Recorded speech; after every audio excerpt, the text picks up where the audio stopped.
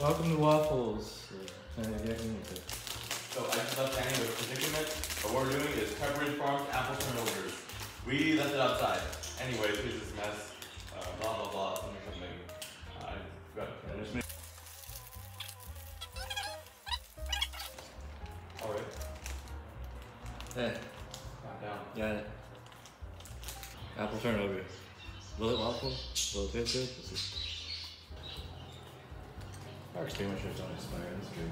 Dude, you see the expiration date right there. Look how puffy it got. Look at this. Puffy Finally, something. Apple. waffle.